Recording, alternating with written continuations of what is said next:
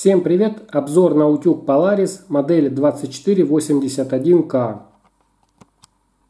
Гарантия на данную модель составляет 24 месяца. Основной цвет синий, дополнительный цвет черный.